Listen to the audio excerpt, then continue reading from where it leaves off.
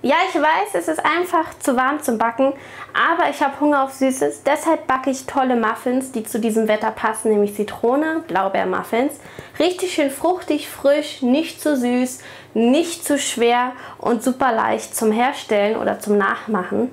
Ihr benötigt nur eine Handvoll Zutaten und wie man sie herstellt, zeige ich euch jetzt. Viel Freude beim Videoschauen.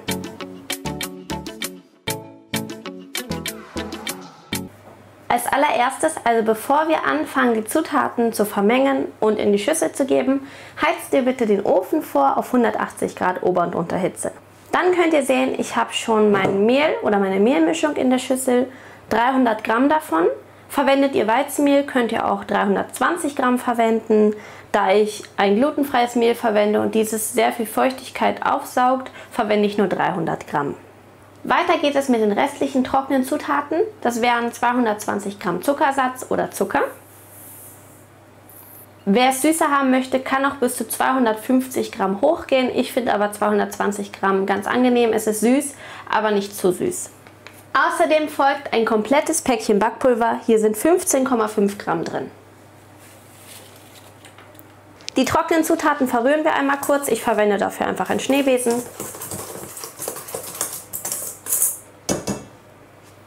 Und dann kommen unsere flüssigen Zutaten hinzu. Diese wären frischer Zitronensaft aus zwei Zitronen gepresst und die Schale einer Zitrone. Ich weiß gar nicht, ob ihr es so gut sehen könnt, vielleicht wenn ich es reinschütte. Ja, da hat man die Zitronenschale gesehen. Wenn die Zitronen bei euch klein sein sollten, könnt ihr natürlich auch drei verwenden. Ihr solltet aber mindestens 80 Gramm Zitronensaft haben. Außerdem benötigen wir 200 Gramm Mandelmilch, Ihr könnt auch Reistrink, Hafermilch oder eine andere eurer Alternativen verwenden. 120 Gramm Öl, ein neutrales Öl und wenn ihr aktuell kein Öl bekommen solltet, da es ein bisschen schwer ist, könnt ihr natürlich auch geschmolzene Margarine verwenden, ungefähr 150 Gramm davon. Nun müssen wir uns ranhalten, wir müssen das Ganze schnell verrühren, aber wir brauchen ja noch Blaubeeren. Hier sind 200 Gramm. Ich gebe nur ungefähr zwei Drittel von den Blaubeeren in den Teig.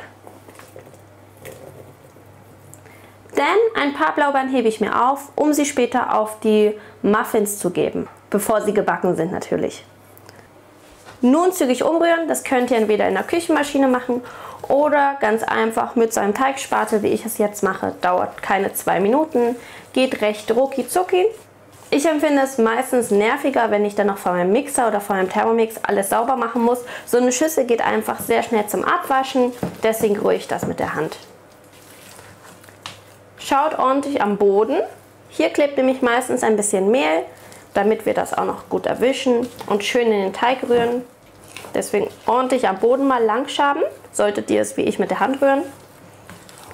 In der Küchenmaschine müsstet ihr theoretisch nicht mehr nachschaben und solltet ihr nachschaben, dann ist wahrscheinlich die Küchenmaschine nicht ganz so gut, denn eine Küchenmaschine sollte so einen kleinen, einfachen Teig einfach gut verrühren. Es ist ja kein schwerer Brotteig, sondern ein ganz einfacher Muffinteig. Ihr könnt sehen, der Teig sieht jetzt schon sehr fluffig, locker leicht aus, was daran liegt, dass wir natürlich Backpulver und Zitrone drin haben und diese beiden zusammen reagieren. Und natürlich, da ich Öl verwendet habe, Öl ist zwar ein Fett, aber im Gegensatz zu Margarine lässt dieses Fett nicht nochmal Wasser raus, wodurch wir eine schöne fluffige Masse erhalten.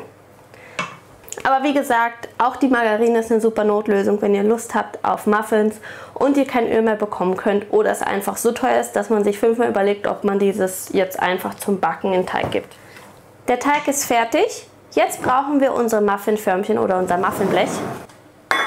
Hier habe ich schon mal eine Form und hier die andere. Ihr könnt sehen, meine sind nass. Ich habe sie nämlich mit kaltem Wasser ausgespült. Das mache ich immer vorm Verwenden, da manchmal wie gerade hier am Rand, einfach ein paar Krümel hängen bleiben. Ist nicht so nett, ist nicht so schön. Diese Formen sind aber mindestens 33 Jahre alt, also älter als ich, wodurch es ihnen verziehen ist, wenn mal ein Krümel dran hängt. Was ich nur kurz mache, damit meine Muffinförmchen, die ich gleich reingebe, nicht nass werden, einfach kurz innen, wo die Form reinkommt, mal mit dem Geschirrtuch alles trocknen.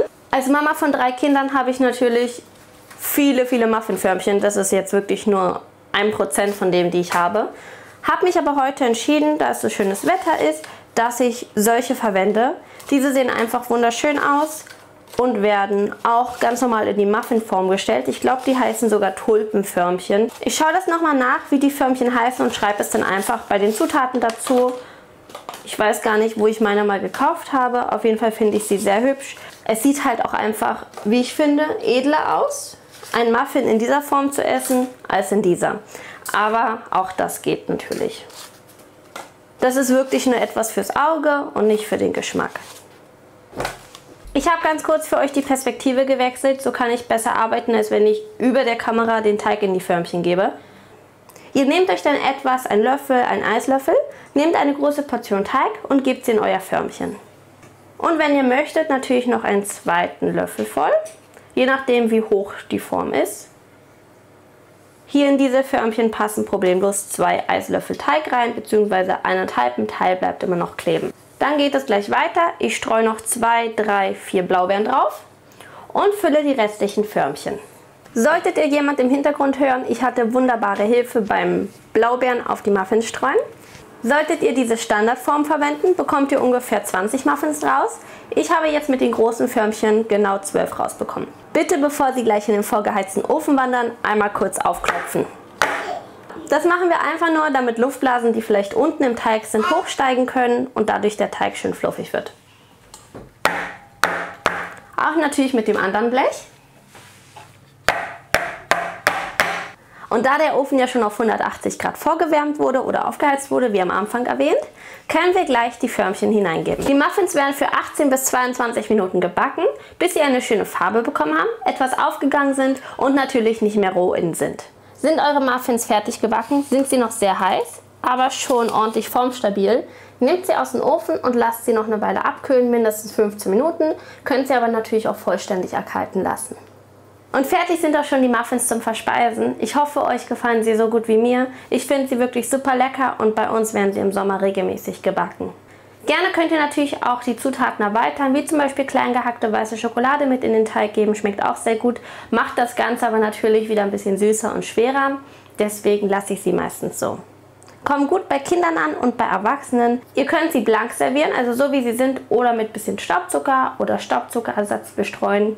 Das ist ganz euch überlassen. Nun wünsche ich euch viel Freude beim Nachbacken, ein schönes Geschmackserlebnis und freue mich, euch im nächsten Video begrüßen zu können. Bis dann. Tschüss!